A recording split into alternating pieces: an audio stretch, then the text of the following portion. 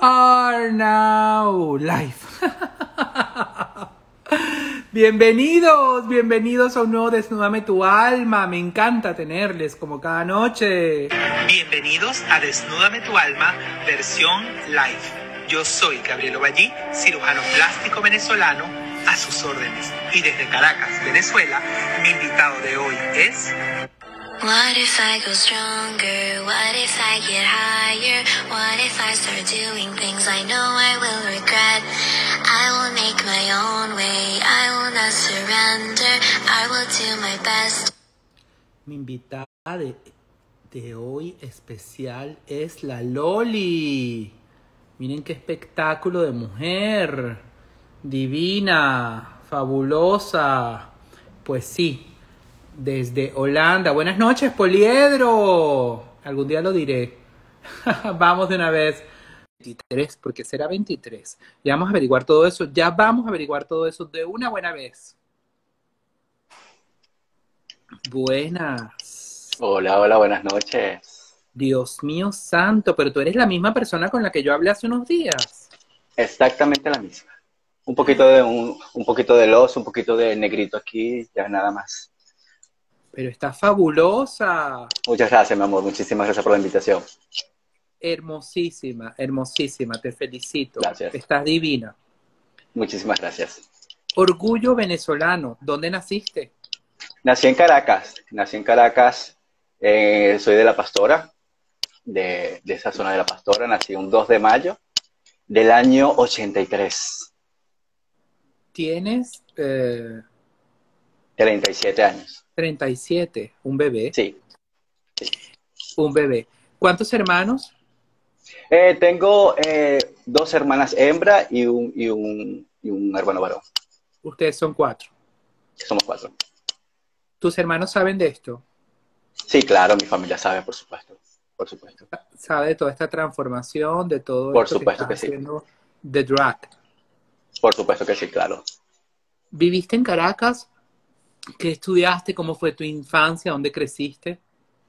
Eh, tuve una infancia bastante, bastante alegre, eh, muy, muy, muy, muy alegre con mis hermanos, con mis, con mis tres hermanos.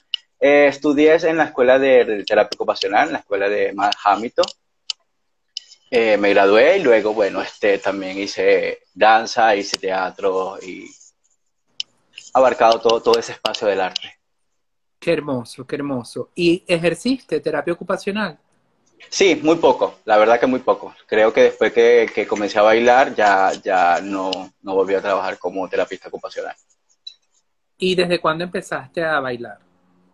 Eh, que desde muy niño, la, ver- la verdad yo era una persona, era un niño muy tímido. Realmente el que bailaba era mi hermano y mi hermana era lo que, los artistas de la casa y yo siempre estaba como que atrás mirando.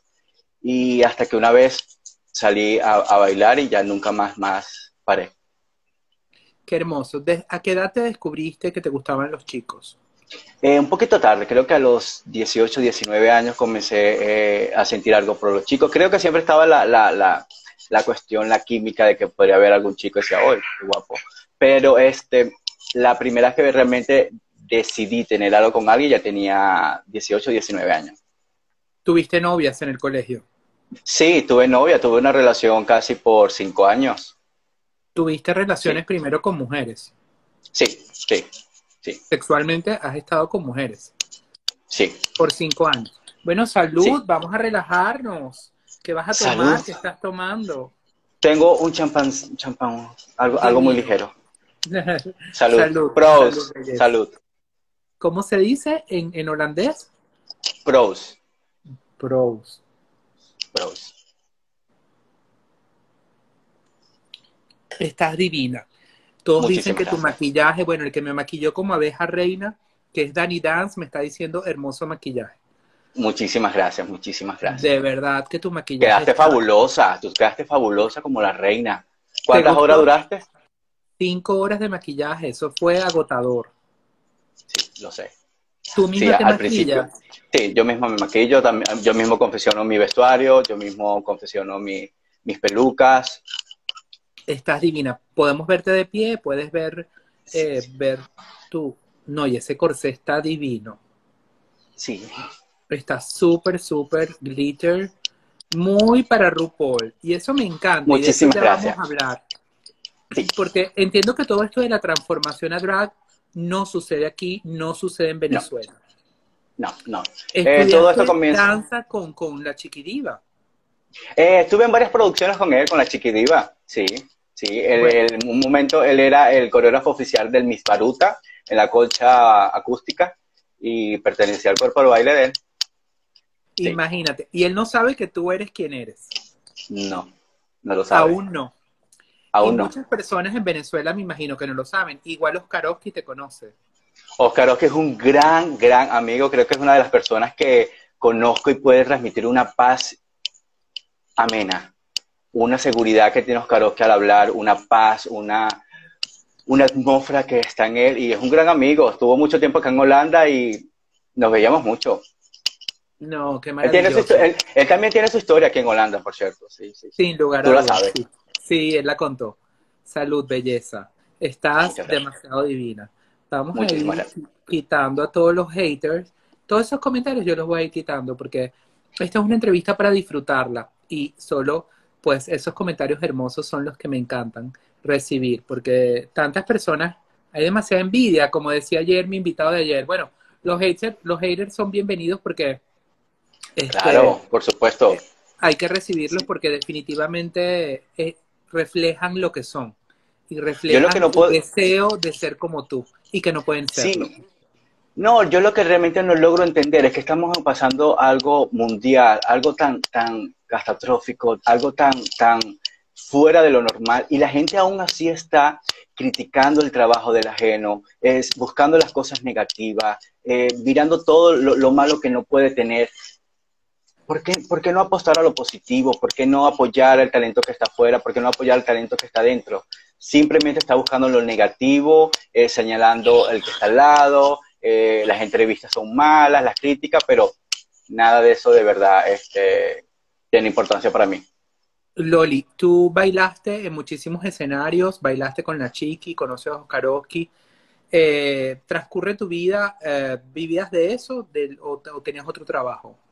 Eh, no, no, no. En Venezuela trabajaba también para Elena Rubinstein. es una marca de maquillaje eh, hace muchísimo tiempo, este, como perfumista. Luego, a, a mediados, estudiaba terapia ocupacional. Luego me graduó, este, eh, pasa algo en mi vida, eh, paralizo todo y comienzo a bailar. Comienzo a bailar por todo, por todo lo que me gustaba. eh, y luego me mudo a, la isla de Margarita a bailar en los hoteles en la isla de Margarita y de ahí ya parto a, a Holanda. a Holanda, porque conoces al amor de tu vida en, en Margarita y él te dice para ir a Holanda, tengo entendido. Pero ocurre algo en Caracas, que es una historia muy fuerte, tengo entendido, que es la que hace que te vayas a Margarita. ¿Tuviste algo de un problema de tragos en, en Rebo, en Copas, en alguno de estos sitios? Wow, pero tampoco bien informado. ¿Quién es tu fuente? Sí, No, tengo eh, obreras que trabajan y me dan información siempre. Sí, ya, ya veo, porque esa información es de amigos muy íntimos. Eh, Ah, sí. sí, sí, tenía, tenía 20 años, este, pasa algo, eh, comenzó una droga muy fuerte en Venezuela. Eh, yo estaba, acababa de firmar para bailar un programa en RCTV que se llamaba Date con Todo. Estaba en los preparativos del programa. Eh, esa noche quería salir a tomar algo. eh, le dije a varios amigos y no quisieron salir. Eh, fui a un local eh, de, de la ciudad capitalina y estaba con, con un amigo. eh, tomé algo y me sentí muy mal. Me sentí mal, me sentí mareado, quería vomitar y me fui a mi casa. Me fui a la casa de mi madre, eh, me acosté a dormir y resulta que, bueno, eh, habían colocado una droga en mi bebida y yo estaba tomando un medicamento porque tenía problemas de oxígeno en el cerebro y esto causó que convulsionara varias veces esa noche. A través de las convulsiones eh, se me inflama el cerebelo, eh, llenándose un 80% de líquido. Esto produjo que me diera una parálisis facial en la mitad de mi cuerpo, en la cual no podía caminar, no podía hablar, eh, estuve en coma, estuve en coma un buen tiempo. Este, y sí, fue, fue un suceso que realmente eh, fue un antes y un después de mi vida. Fue algo que realmente marcó muchísimo, no solamente a mí, sino a todo mi núcleo familiar, a mis amigos. Este, llegó el momento en que tenía que utilizar pañales, eh, tenía la cara muy torcida, eh, no me podía valer por mí mismo. Y sí, fue, fue un, momento, un momento bastante crucial. Luego de eso, bueno, fue mucha terapia. Este, y después de la terapia decidí no, querer estar más en, en Caracas. desconfiaba de todo el mundo porque no sabía quién lo había hecho. Y, y no solamente destruyó gran parte de mi vida, sino también la de mi familia, la de mis amigos que estuvieron ahí pendientes y que hasta el sol de hoy son mis amigos de toda la vida. Y de ahí parto a, Margarita, de ahí parto a, hacer una nueva vida. Mi familia, mi mamá estaba en contra, mi, mi hermano sí me apoyó 100% porque quería salir de donde estaba. Y sí, fue algo bastante, bastante duro, bastante duro. Creo que por un, por un, por un ciclo eh, ya estaba muy bien porque era inconsciente de lo que estaba viviendo. Eh, no, no, sabía lo que estaba viviendo, hasta que eh, uno de los psicólogos me pregunta qué, qué día es hoy. Y me sentí como las mises, las, mises tontas, por los nervios. Dije, ah, ¿qué pregunta es esta?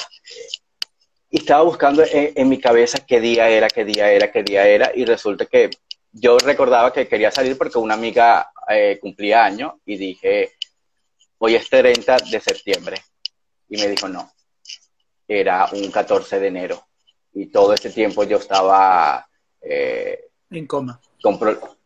Sí, estuve en coma, con problema motor, tuve problema motor, tuve problema al hablar, a, todo, a todo. No me valía por mí mismo. Gracias a mi eres hermano. Un milagro, eres un milagro de Dios, eres un milagro porque Dios quería que tú siguieras y, y tenías un destino, tenías un objetivo en la vida, tenías una meta que cumplir y sin lugar a dudas estás haciéndolo.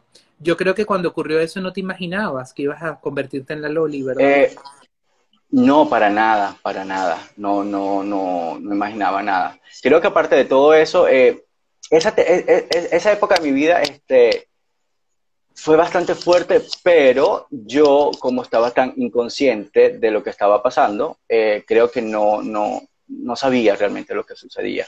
pero un tiempo, después, así? casi un año casi un año.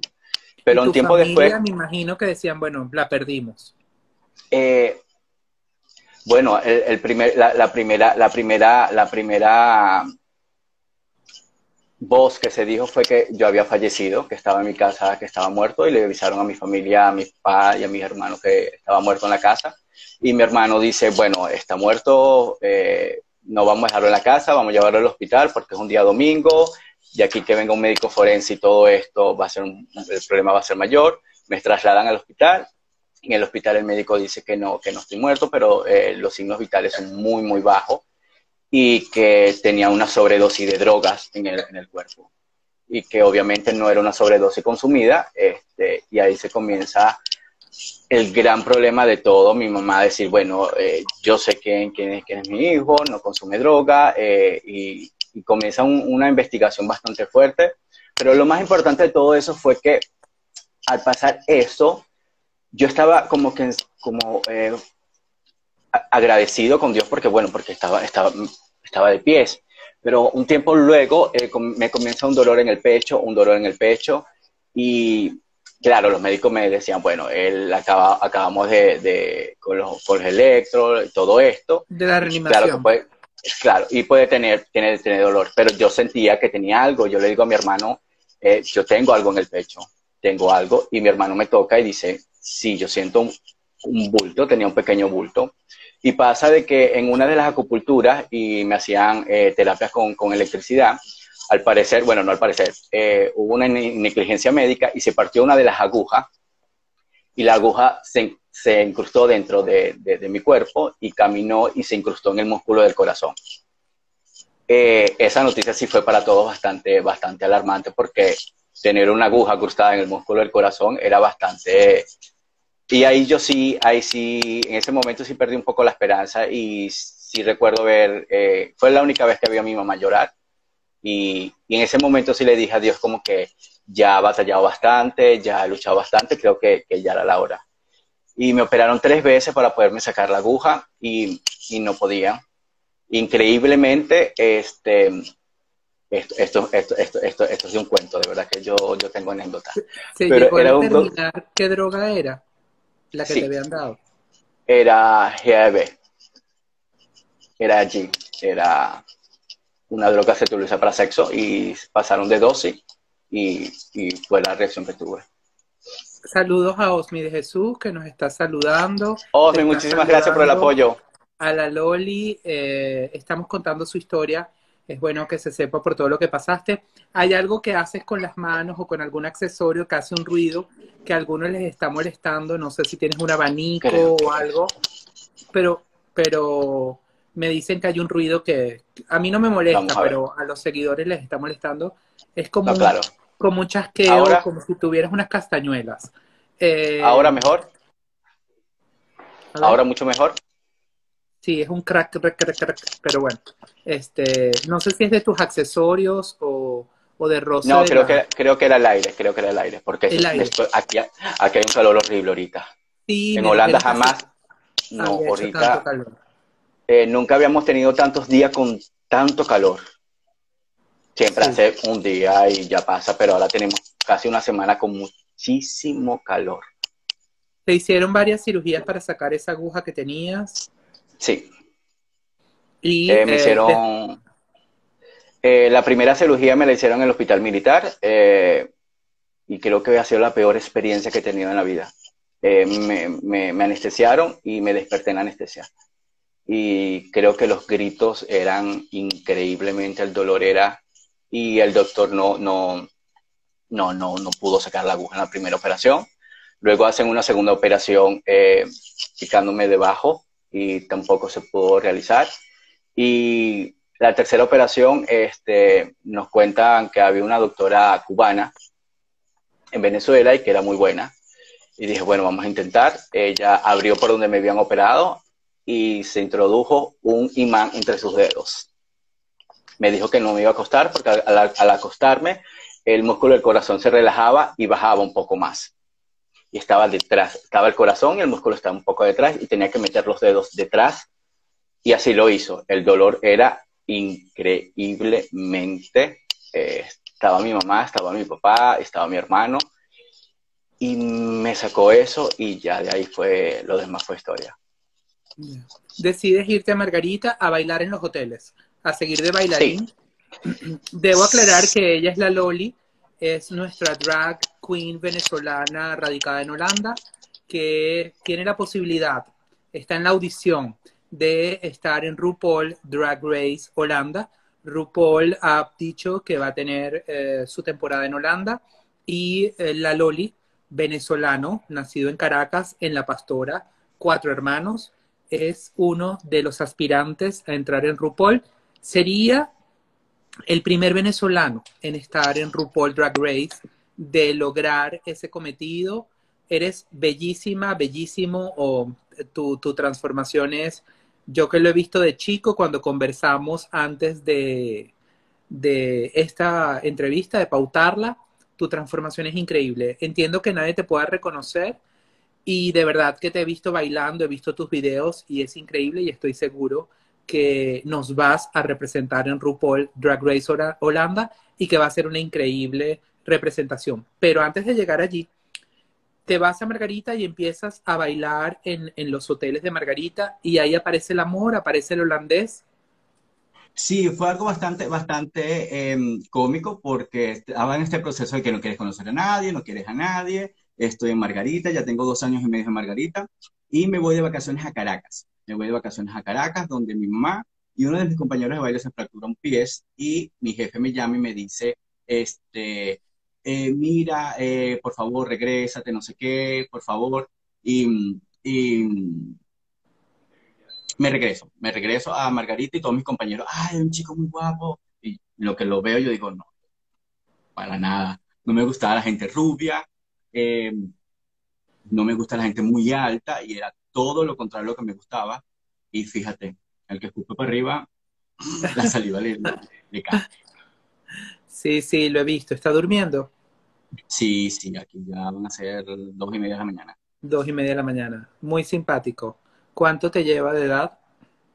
Eh, un año, un año, solamente un año. Mu- Muy, guapo, muy guapo. Estoy, debo aclarar que va a ser la primera venezolana en participar en RuPaul Drag Race Holanda.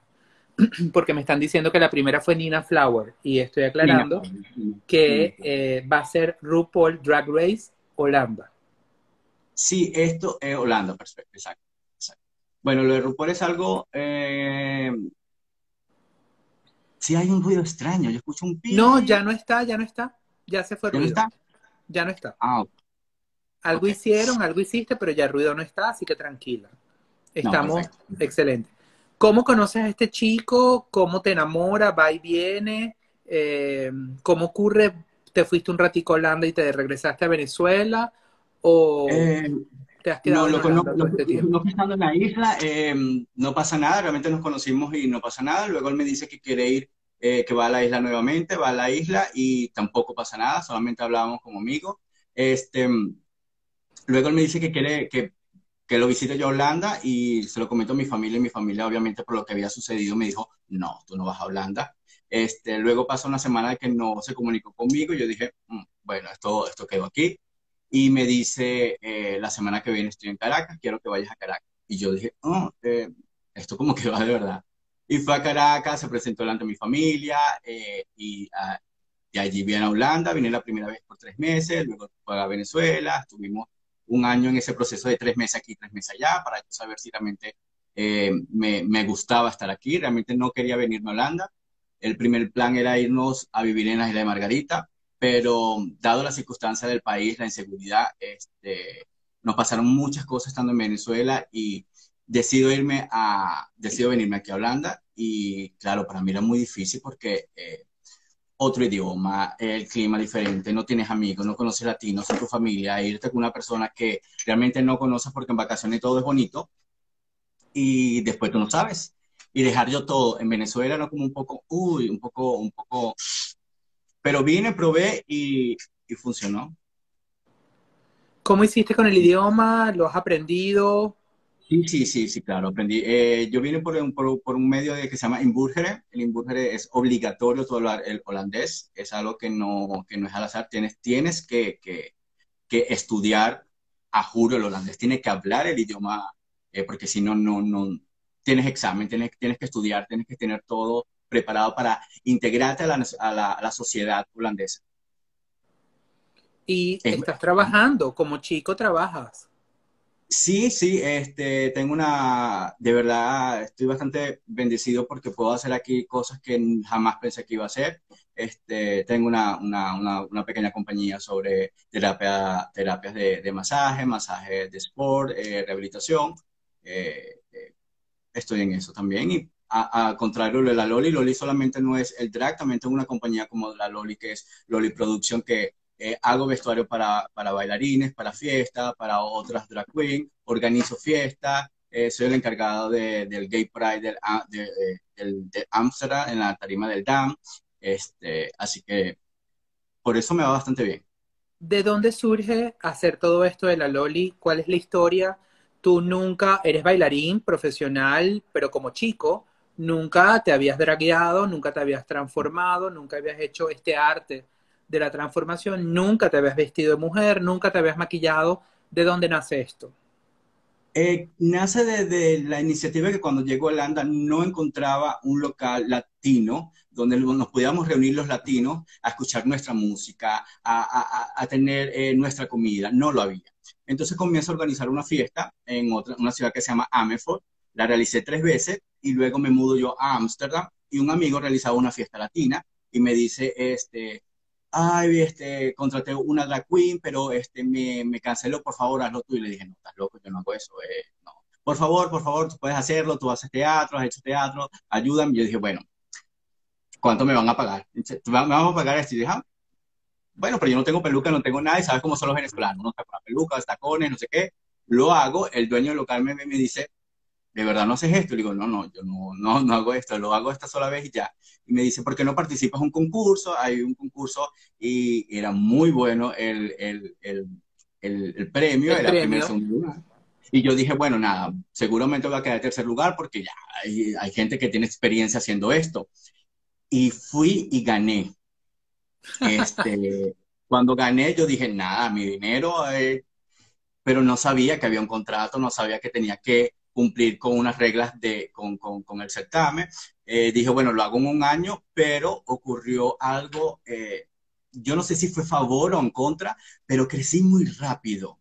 Eh, cuando, cuando me presenté en el concurso, fiestas me comenzaron a, llamar, comenzaron a, darme muchísimo trabajo, a preguntar por mí, y entonces dije, ya va, ya va, este, yo quiero esta vida, quiero hacer esto, porque algo es porque lo quieras hacer y otra cosa es por negocio, otra cosa es porque te guste.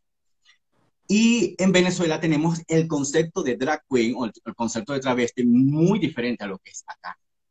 Y lo que tenemos el concepto en Venezuela es una loca drogadicta, es una problemática, es una chismosa, es una fabulosa o es una extradiva que eh, no quiere saludar a nadie. O, y tienen este concepto de, de personas que yo no soy eso. Y no quería verme en eso y no quería proyectar que yo era esto.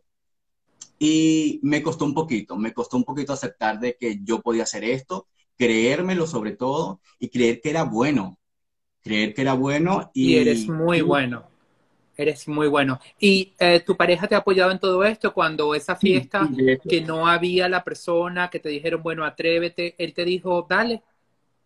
No, él es mi manager. Eh, yo creo que ah. eh, muchas veces llego a la casa y la maleta está lista. Qué bello. yo no sé qué Ay, voy a hacer. Y yo llego porque llegué del trabajo, no sé qué, la maleta, vámonos, el carro. ¿Y qué, qué, show voy a hacer? Bueno, vas a hacer este show, este show, este es el vestuario. Y, y, es una compañía realmente lo que tenemos. Y se ha convertido en tu manager y te apoya. ¿De dónde nace el nombre de la Loli y por qué el número 23?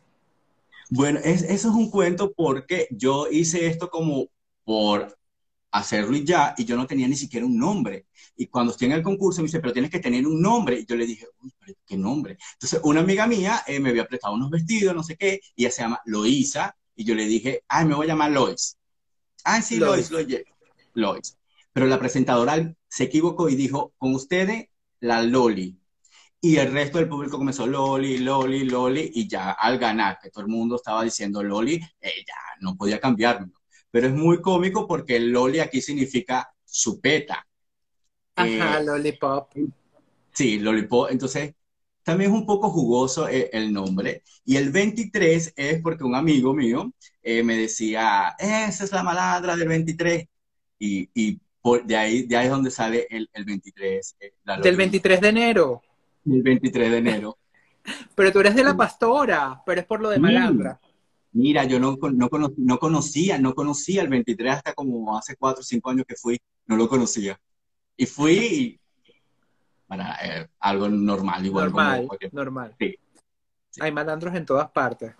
En todos. Aquí también. ¿Quiénes son más bellos, los malandros venezolanos o los malandros holandeses? Ay, que a mí no me gusta la gente rubia. Sí, eso es lo que dice, pero tu marido es rubio.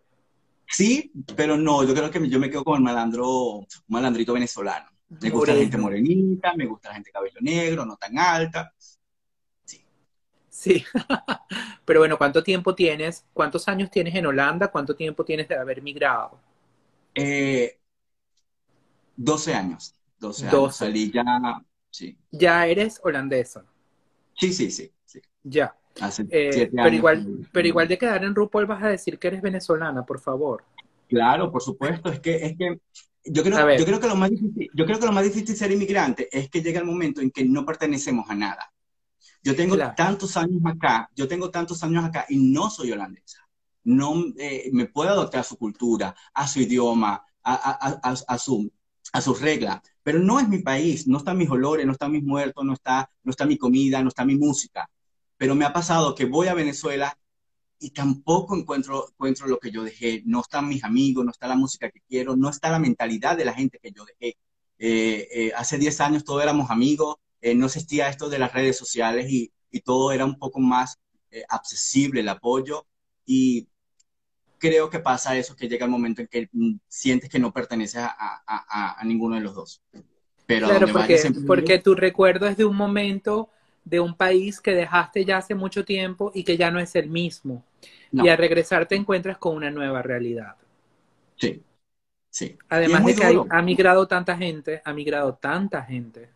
Y es muy duro porque eh, yo, salí, eh, yo salí en Venezuela, estaba comenzando a pasar todo lo que está pasando y la gente que está allá, eh, eh, si yo digo algo de Venezuela o, me pasó una vez que estaba, estaba en la tarima del DAN, había 13.000 personas y para mí era un orgullo salir con la, con la bandera de Venezuela.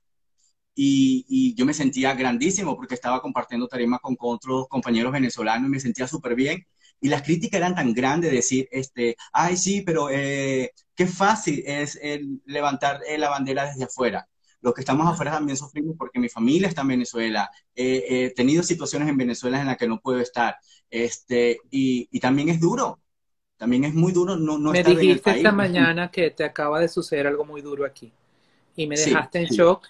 Y a pesar de eso estás allí, estás maquillada, estás arreglada y estás presentándote para un compromiso. Ya yo voy a llorar porque yo soy muy llorón. Para un compromiso que teníamos ya pautado. Pero bueno, no quiero que se te corra el maquillaje. Este, mm por eso. No, soy duro en llorar. yo, sí, yo sí soy muy llorón. Pero tengo entendido que falleció un familiar tuyo aquí hoy. falleció un familiar eh, debido al corona. Este, y, y, sí, sí, sí, es algo bastante, bastante movido. Eh, hace tres meses también murieron otros dos familiares y tampoco pude estar eh, porque no hay vuelo para Venezuela, no puedo ir a Venezuela. Aparte de eso, tengo ya casi tres años que no puedo ir a Venezuela porque mi, mi pasaporte retenido, eh, no sé por qué, eh, ya lo he pagado, lo he solicitado, he hecho, pero el pasaporte no, no, no me lo han enviado. Imagínate. Pero bueno, em, tres años sin venir a Venezuela. Sí. ¿Qué extrañas? Uy, extraño todo. Mira, la última vez que fui a Venezuela, yo me sentía tan feliz. Mi mamá tenía tanto miedo y yo dije, me voy a La Guaira en una camioneta, porque quería vivir esto mis amigos estaban aterrados, me decían, ¿cómo te puedes montar en el metro? Y yo, y yo feliz, yo me monté en el metro porque yo quería realmente ver lo que estaba pasando.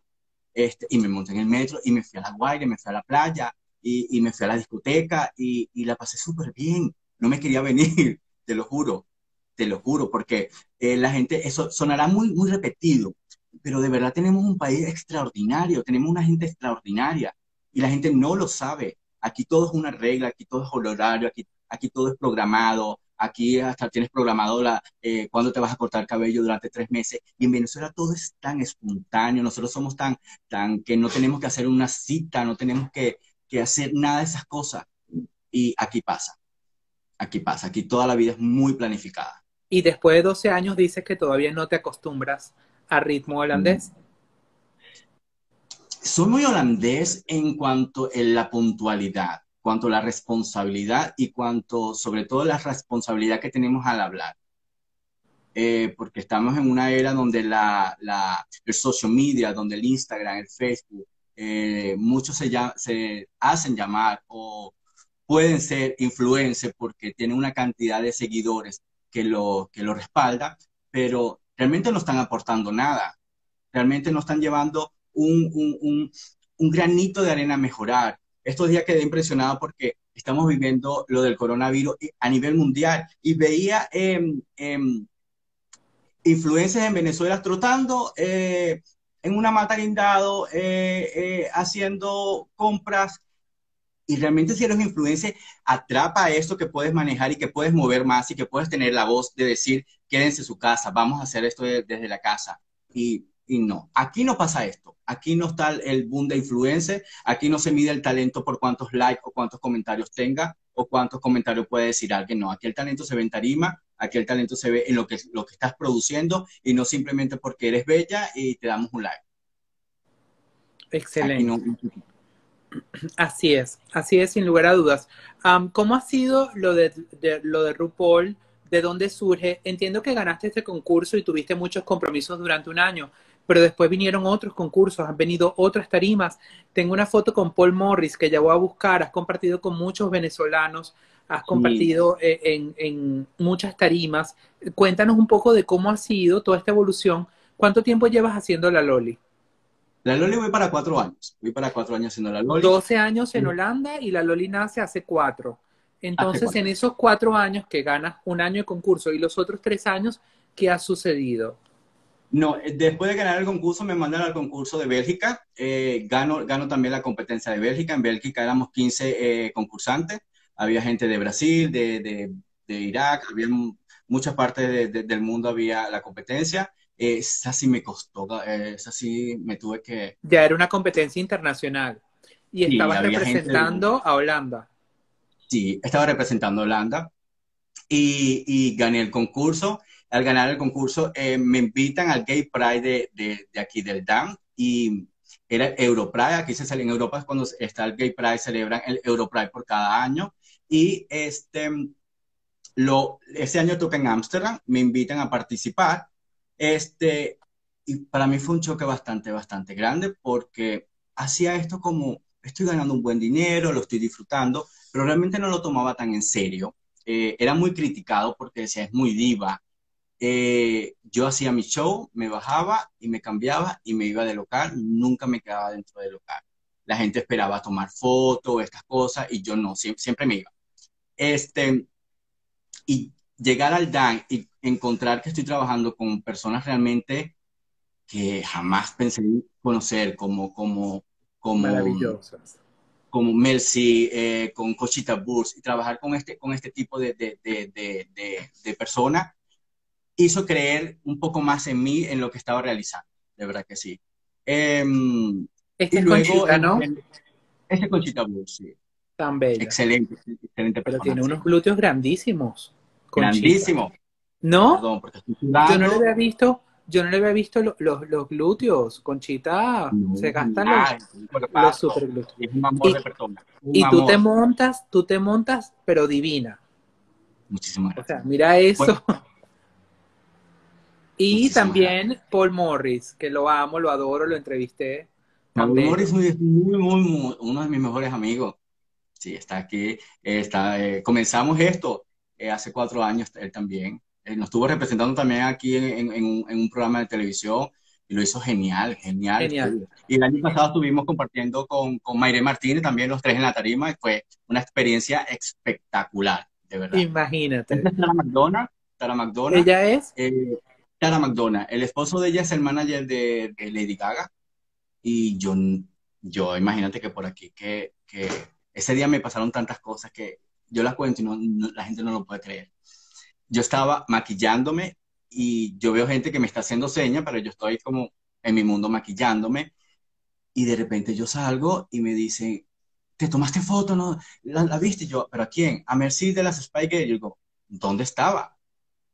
La gente estuvo media hora a mi lado que le estaban haciendo el cabello y yo ni cuenta. Y ella fue la que me dice, ella me cuenta en ese momento, por eso sacaron, me dice, no puede ser que no te tomaste foto con Mercy, Y yo no. y tú, Es- ¡ah! es la canción. Eh, te transformas de muchas maneras. Eh, Sí. Me encantas también con cabello negro, de rubia, como estás ahora, eres fascinante, eh, pero también de cabello negro, tus maquillajes, como detallas la nariz, como le imprimes ese sello, parece una cirugía plástica. Eres una Barbie girl, me encanta como maquillas tu nariz, es fabulosa. Y tú Muchas la gracias. sabes maquillar y darle el toque, los labios como los delineas. Y eh, imagínate, si todo ese vestuario lo haces tú, es increíble, porque no es nada fácil. O sea, poder diseñar todos estos trajes tan elaborados, eh, ¿de dónde aprendiste a coser? Mira, eh, acá hay un diseñador que ese traje, ese traje que tengo en esta foto, en esta oportunidad, es de un diseñador eh, venezolano también que está radicado aquí en Ámsterdam, eh, se llama David Cárdenas, y él se reía porque me decía, y ese traje es fabuloso.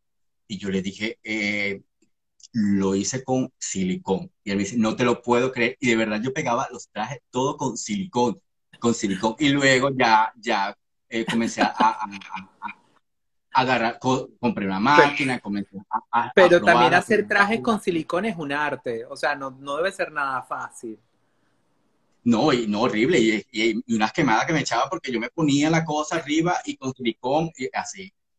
Te los Esa cosías la- la- encima puestos. Sí, claro. Y si engordaba un kilo, imagínate. No, no, no, no. Ya. Sí, todo el mundo dice que tienes que abrir una línea de maquillaje. ¿No lo has pensado? Bueno, este, hay que esperar primero las oportunidades.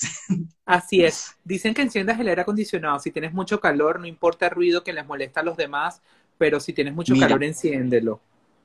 Sí, porque de verdad estamos en la temporada creo que más caliente de Holanda. Eh, Sí. Horrible. Eh, la gente está en la calle, de verdad está el control de la corona, pero estamos eh, tengo miedo, de verdad. Nunca habíamos tenido tanto calor aquí. Y hay unos maquillajes como más eh, de terror, eh, porque ¿cuál es el objetivo de este tipo de maquillajes tan punk? Eh, ¿Qué pasa? Pasa en que trabajo para muchísimas fiestas y cada fiesta es una temática. Entonces hay una fiesta que se llama Westland, que es esta, esta fotografía, y este, este Westland es fetiche, es on the ground, es em, apocalíptico, y me gusta ir siempre a, acorde con, con, con, lo que es la fiesta. Y este maquillaje lo realicé para, para el Westland. Y esto que me encanta, todo fosforescente, la peluca, la... Eso fue para una fiesta que se llama Fun House, se llama Fun House, y fue en el verano, y el tema era neón, y algo, algo sencillo. Y con este yo hice la publicidad de las historias porque me encantó sé, esa mariposa y, y también caminas en zancos, ¿no? Sí, hago zanco, hago ariotela, eh... voy a ir haciendo cosas. Claro, eso es lo que me gusta, que eres polifacética y pienso que eso va a hacer que definitivamente estés en RuPaul Drag Race. Este me encanta, o sea, este maquillaje de verdad y todo esto pegado, o sea, también con silicón. No, no Te arrancas la piel.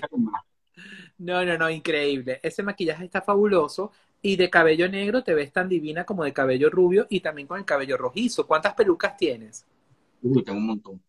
tengo un montón. ¿Y tú también las haces? ¿Tú también las arreglas? ¿Tú también te, las elaboras? Sí, bueno, al principio estaba con un amigo también venezolano eh, que se llama Tico Díaz, un excelente eh, peluquero, y me dio los tics, eh, me, me, ayudó, puedes hacerlo así, las cortas acá, y él me enseñó muchísimo también cómo, cómo hacer. ¿Cómo haces para mantener tu cuerpo? Porque tienes un cuerpo muy femenino, muy esbelto cuando te vistes de mujer Cuéntame cómo hiciste para aprender a caminar en tacones, porque un chico que está acostumbrado a bailar, pero no de mujer, te lo digo yo que duré minutos con unos tacones y no sabía cómo hacer para quitármelos. ¿Cómo haces para estar en tacones tantas horas? ¿Cómo los aguantas? ¿Cómo aprendiste? ¿Y qué haces para mantener el cuerpo? Porque también esto es una exigencia, ¿no? Claro, eh, tengo la ventaja de que siempre he sido muy delgado. Creo que tenía un trauma desde pequeño porque mi cintura es extremadamente pequeña. Y recuerdo que cuando comencé a hacer el, el, drag tenía 61 de cintura y yo decía, ¡Ah! y todo el mundo decía, pero qué cuerpo, ¿cómo puede ser? De verdad no hago nada, como muchísimo. Yo como, la gente que está a mi alrededor lo sabe, como muchísimo. Eh, más ejercicio de estar todos los, todos los fines de semana en tacones y entre, entre tarima y organizando todo, ya, ya creo que ese ejercicio bastante, bastante ¿Cómo, lo que puedes hacer. ¿Cómo hiciste para, para los tacones, para aprender a usarlos, para bailar en tacones? No, yo creo que todos los venezolanos que nos montamos unos, tacones hacemos así. Y eso, ya. eso creo que está, yo creo que eso está en los genes de nosotros. No veo ningún venezolano que no se monte los tacones y Ay, Dios mío, yo necesito clases. Toda, toda la que se monte pueden hacerlo. Tú te montas y ya, te metes en el personaje Mm. y listo. Y tantas horas en tacones, no es ina o sea, ¿cómo haces? Sí, sí, sí, sí cansa, sí cansa, claro. Sí, cansa. En, en, lo, en, lo, en, la, en, los fines de semana que tiene, que tengo eh, cuatro. Ese look asiático, ¿para qué fiesta fue? Está fabuloso. Esto fue una feria que se llama Mad Fox, en un local de aquí del WT, eh, una red de hotel muy famosa en Europa. Ahí dice también. Mad Fox. Era una noche asiática. Una noche increíble. No, no, no, no, no. Está eh, esto, y mira este cuerpazo, o sea, tienes los cuadritos marcados. Sí. Y no haces, y no haces dieta ni haces ejercicio. Mm, tuviera todo lo que como yo en el día y la gente no, no, no lo Niña, pero ahí parece Britney Spears. Britney está Sí, más gorda que tú. Es que, la cintura de verdad, de verdad es muy pequeña. Tienes Como hombre es un poquito, un poquito, eh, mm, femenino. pero bueno, sí, sí, muy femenino. ¿Qué fue esto? Cuéntame, maravilloso. Este es el Gay Pride, el Gay Pride, este, este fue el Gay Pride creo que el de hace dos años atrás. Divina, divina mujer. Sí, Compota, gracias si me vas a dar clases. Y esto que tienes cargando así es Navidades. No, esta es una fiesta que se llama, es una de las fiestas más grandes de Europa, de la comunidad gay, se llama la Demans. Eh, creo que para todos los compañeros eh, Gogo Dance y todas las drag queens, el trabajar esta, en, esta, en esta fiesta es, es un privilegio, de verdad. Es, esta fiesta, la producción es, algo increíble y afortunadamente este, bailo para, para esta compañía también. Este, ellos también hacen un crucero en, en, el, en el verano. Este, y ahí se trabaja muy Y este terrorífico, ¿no pareces tú? Ese, ese, era, ese, ese Westland, Westland era, era mitad hombre, mitad humano. ¿Cuánto tardaste en el maquillaje de hoy? Están preguntando. Hoy, una, hora y media, dos horas máximo. Es lo que duras en promedio, normalmente. Sí, sí. Y esta foto me encanta. Porque Esta fue la transmite- portada de una fiesta que se llama Liquid. Eh, fue el año pasado también, se realizó en Ámsterdam, eh, con, eh, con Pablo, con, em, con Papa Party, eh, con una mezcla con Papa Party. Eh, se realizó el año pasado aquí. Siempre se hace. ¿Cómo surge lo de RuPaul? Eh, sale el, el, eh, quiero aclarar que eh, RuPaul es, no es el- el- la competencia como tal de RuPaul. Sabemos que RuPaul drag, drag en América es muy diferente a lo que se está haciendo a nivel mundial. Esto es una sucursal, eh, es una, una franquicia, Franquicia. que RuPaul está dando a los otros países como están en otros países, están en, en otros países. Y llega a Holanda, este, pero en Holanda pasa de que la gran cantidad de drag queen son extranjeras, no son holandesas. Eh, sí hay una gran cantidad holandesa, pero las mayores fuertes son, son latinas. Este, yo no estoy en la primera temporada, la primera temporada ya se está grabando, eh, ya va a salir al aire. Lo que pasa es que todo se ha retrasado, se ha retrasado por el coronavirus. Eh, sobre la segunda temporada todavía no puedo dar eh, mayor declaraciones, Pero ya con tu sonrisa nos los dices todo. Pero bueno, está bien, no vamos a hablar.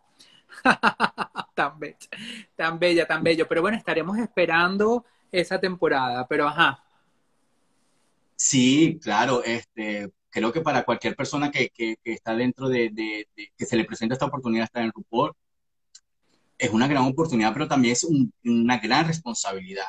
Para mí es una, una responsabilidad extremadamente grande el porque eh, yo llevo mi personaje como Loli muy oculto. El 80% de la comunidad acá no sabe quién es Loli.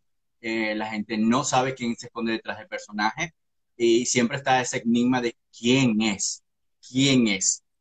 Y me gusta mi vida privada. Me gusta salir a un local y me gusta pasar desapercibido. No me gusta llegar a un local y decir, ah, yo soy la Loli, ábreme la puerta. Para nada, soy todo lo contrario. Me gusta llegar a un local y estar calladito. Si tengo que hacer mi cola, hago mi cola. Eh, puedo tener los contactos, pero no estoy moviendo los contactos para yo estar allí. Y hacer esto de RuPaul Drag es salir como chico eh, delante de las pantallas, que no tengo ningún problema en hacerlo, pero es dejar un poco mi vida privada a, a- a un lado por, por esta responsabilidad. porque ahí vas Pero a revelar quién eres, porque llegas como Claro. machito y te empiezas a maquillar.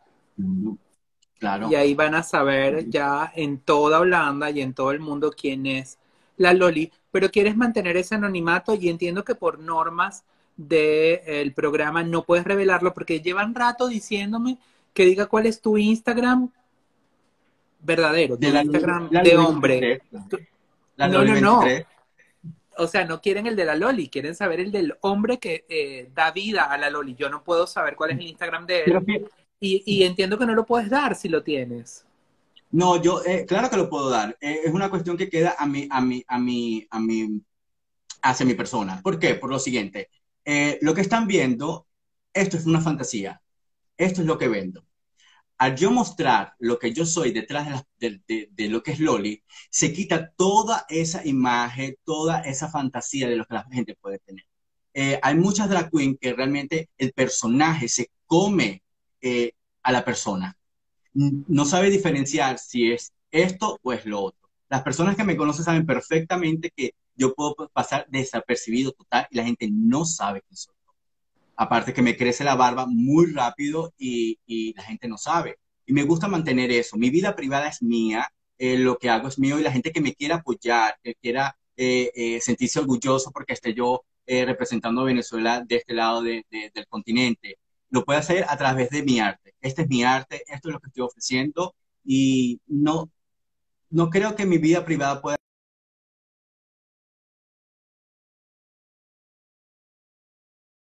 Si él quiere mantener su vida privada, tenemos que respetar eso. y pues entiendan que eh, por mo- los momentos están conociendo a la Loli y es un venezolano y eso es lo importante. No, sí va a salir, claro que tiene que salir porque eh, eh, va a salir. Pero la- al Se me está congelando la señal. yo puedo tener mi vida eh, en tranquilidad, que yo puedo salir a un lugar y que la gente no sepa que soy yo y que puedo estar allí, de verdad yo lo agradezco muchísimo porque a veces cuesta, a veces cuesta y me cuesta en la actualidad que estoy en un local y esa es la Loli, esta es la Loli, y entonces de repente estoy con amigos, quiero pasarla bien, quiero distraerme en cualquier otra cosa y la gente siempre quiere una foto, quiere hablar, mira, ayúdame en esto, eh, y es un poco pesado también. Entonces, Quieres mantener la privacidad hasta donde se pueda, porque va a llegar un momento eh, al entrar Dios mediante RuPaul Drag Race segunda temporada Holanda, en donde eh, va a, a ocurrir inevitablemente la revelación. ¿Cómo has hecho para sobrevivir durante toda esta temporada de, de coronavirus? Me imagino que no has hecho shows, que no has tenido presentaciones. eh, ¿Cómo te has reinventado? Eh, ¿Qué has hecho? Eh, bueno, tenemos la ventaja de que eh, eh, la Loli es una compañía y el Estado como tal eh, me paga un, un- un- mi salario normal como la Loli. No es lo que gano normalmente como la Loli, pero el Estado, al ocurrir esto, el Estado tiene un respaldo a las personas que tienen una compañía. Igualito Entonces, que aquí, claro. igualito. Ajá. Claro, el- eh, yo tengo dos compañías, tengo mi compañía de masaje, tengo mi compañía sobre Loli y con eso eh, me he mantenido eh, este tiempo, en este tiempo. Aparte que, bueno, soy una persona muy ahorrativa y los que me conocen saben que soy, siempre tengo dinero ahorrado. Pero aquí ya comenzó todo a funcionar, todo está funcionando eh, con muchas reglas, las fiestas se están realizando ahorita, eh, 100 personas, 60 personas, todos sentados en la mesa, es muy diferente porque siempre que salimos a tarima este, tenemos esa, eh, esa energía de la gente, ahora no está y es un poco, es un poco extraño, pero bueno, es lo que tenemos y tenemos la oportunidad todavía de trabajar y, y está bien, está bien. Y qué bueno que ya, ya estás saliendo a trabajar, eso es importante. ¿Qué, Sí, qué- sí, moraleja piensa que está dejando para el mundo toda esta situación? Hace un par de meses yo dije, bueno, eh, creo que la humanidad va a entender que, el- que hay que respetar un poco más la naturaleza. Eh, lo que estoy viendo ahora, creo que la humanidad no ha entendido lo que realmente eh, la, la- la madre naturaleza está diciendo, eh, me están asfixiando. Creo que no, creo que la humanidad no, no, no tiene la capacidad de entender realmente lo que está pasando. Y es. es una lástima, es una lástima porque realmente creo que algo como esto, vivirlo dos veces no podríamos. Y, y claro, ahorita están enfocados del coronavirus, eh, de la enfermedad, pero realmente el problema viene ahora. El problema económico, aquí ya está comenzando el problema económico, a despedir muchísima gente de las empresas, y es donde la gente va, va, va, va a ver A darse cuenta de realmente de lo que está pero ocurriendo. no, pero la gente no creo que la gente está extrañando la fiesta, la gente está extrañando irse a la playa, la gente está extrañando de que es un puente y vamos a celebrar. Y es, un poco lástimo. Sí. ¿Alguna cirugía te has hecho? ¿Alguna cirugía piensas hacerte? ¿O vas a seguir siendo un hombre que eh, utiliza el arte de la transformación para ser drag queen? ¿O tienes pensado alguna Mm. cirugía? No, eh, estéticamente mi cara eh, no tengo nada, no tengo nada de Botox, no tengo, eh, no tengo nada. Eh, si quiero hacerme algunas cositas, que cuando vaya para Venezuela te va a visitar, doctor. Bienvenida. Y, no, y, obvia- y obviamente eh, una transformación de, de- de- de cambio de sexo jamás. Yo estoy muy bien con mi sexualidad, disfruto muy bien eh, siendo, siendo, siendo chico. Eh, esto de Loli es, es- es, pues, un teatro, es un personaje, no tiene nada que ver con mi vida personal. Este, y no, jamás, jamás, ni, ni- ni por aquí. Es que la No. gente ni se imagina el chico que se esconde detrás de la Loli. Yo que he tenido la oportunidad y el placer de verte cuando pautamos esta entrevista, ahora que te veo yo, Dios mío, pero realmente eres tú. Y Estos es me que- pasa algo porque estoy en una fiesta de una chica que es lesbiana y, y me dice, ah, es que estoy enamorado de la chica que, que trabaja aquí, de la Loli. Y yo la veo, pero yo estoy de chico, yo la veo. yo, yo estoy pensando de verdad que ella me está bromeando.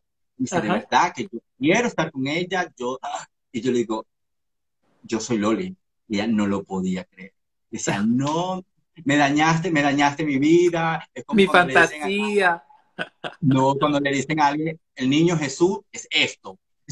Ahí se, ahí se acabó todo. Se acabó todo. Y No, por pero eso yo lo disfruto muchísimo. Yo lo disfruto muchísimo que la gente no sepa estar yo y que están hablando de mí, lo mucho, de verdad. Qué, Y qué claro, me cuesta mucho porque eh, eh, no soy una persona afeminada y, y con Loli tengo que ser muy afeminado, el movimiento de las manos, el caminar, y eso sí realmente me, me cansa un poco. Ans, yo sí sé, me- te queremos muchísimo. Muchos besos para ti, Ans. Este, Muchos besos, Hans, gran, gran amigo de los dos. de los dos. Sí, Ah. sí. Yo conozco a Hans, creo que tenía como seis meses de nacido Hans. ¿En serio? Cuéntame, toda la vida. cuéntame, cuéntame más. Toda la vida. De toda Hans la vida. precioso. ¿Tú no has visto la foto de Hans cuando era niño? Sí, Era un niño- bellísimo. Sí. Bello. Mi oso. Él es el mejor amigo, eh, bueno, casi hermano de mi prima, eh, de mi prima que la quiero y la adoro, y son ín- íntimamente hermanas, son, ellas son hermanas. Ellas son tus hermanas. Y me encanta. Ans es un amor de persona, es encantador y te está haciendo así. Ya Te felicito. Te felicito de verdad. Yo sé que Venezuela va a estar muy bien representada en RuPaul. Drag Race. Eh, te deseo todo el éxito del mundo. Eh, al comenzar esta entrevista, eh, hubo muchísimos comentarios negativos eh, de haters y tú, con tu conversación, con tus palabras, los has sabido callar. Y ya los comentarios han cambiado hacia positivo, ya son mucho menos y la gente está embelesada mirándote y admirándote y viéndote y sabiendo lo grande que eres, porque le has demostrado que no solamente eres una drag queen que se maquilla y que se arregla, sino que aquí hay una cabeza que piensa y que es inteligente y que sabe hablar. Y por eso te felicito. Además, Muchísimas con, gracias. con tu historia de, de superación, con lo que viviste a través de una droga en algún bar que te puso al borde de, de estar del otro lado y que sigas aquí, es un gran mensaje para todos de que la vida eh, nos da segundas oportunidades y sin lugar a dudas tú estás representando a Venezuela porque Dios lo quiere así y porque tienes una misión. Y es esta, más allá de lo que haces como drag, tienes un mensaje para dar.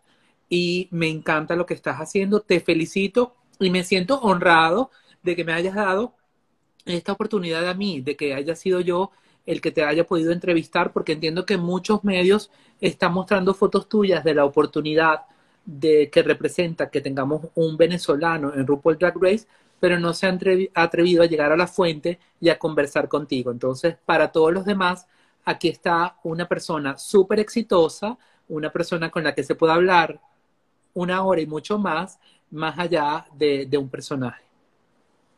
De verdad quiero felicitarte a ti porque a pesar de que no eres periodista, en Venezuela eh, se reseñó en varias, de hecho en canales eh, de televisión abierta, mi participación sobre RuPaul. Em, pasó algo que realmente me, impactó muchísimo, de que usted no es periodista, eh, usted no me conoce, y directamente se contactó conmigo dijo, "Eh, quiero hacerte una entrevista, quiero saber qué es lo que está pasando. Creo que los periodistas de Venezuela y muchas voces de Venezuela eh, se fueron por otra onda. Eh, mucha gente quisieron entrevistarme y a través de la, entre- de la entrevista quisieron venderme, venderme un paquete para hacerme publicidad en Venezuela. Eh, eso, me, eso me pareció una, una gran falta de respeto. Puedo entender que en Venezuela se, tra- se trabaja a través del Instagram y que tra- se, se trabaja a través de los medios de publicidad. Pero eh, más allá del trabajo pasa algo de que hay una labor, eh, un soporte para los venezolanos. No solamente soy yo la, la única drag queen que está afuera eh, haciendo este labor. Hay muchísimas drag queens. Está Javiruchi, que no la conozco. Está Javiruchi en Colombia y me parece espectacular. Está, está Jay Zelaya en España y lo está haciendo espectacular. Está Maredilia en Madrid. Está eh, eh, Dakota afuera. Eh, muchos estamos fuera real- realmente representando a Venezuela y que yo no soy conocido en Venezuela. A mí nadie en Venezuela me conoce. Jamás he hecho un show en Venezuela. Y que si yo estoy en el RuPaul Drag Race y estoy, eh, voy a representar a Venezuela y venga una voz de Venezuela a decirme, eh, te puedo hacer una entrevista, pero te puedo cobrar tanto para hacerte una publicidad, porque veo que no tienes la cantidad de seguidores que en Venezuela se necesita para ser una celebridad. Por favor. no Muchísimas gracias, porque- te quiero. Se va a terminar esto. No, te, te- te felicito a ti porque no eres periodista, hiciste la labor de un periodista que los periodistas en Venezuela no lo han hecho. Bendigo tu, tu, tu programa y mis bendiciones para ti. Muchísimas gracias por la invitación. Feliz noche. Bendiciones. Feliz noche.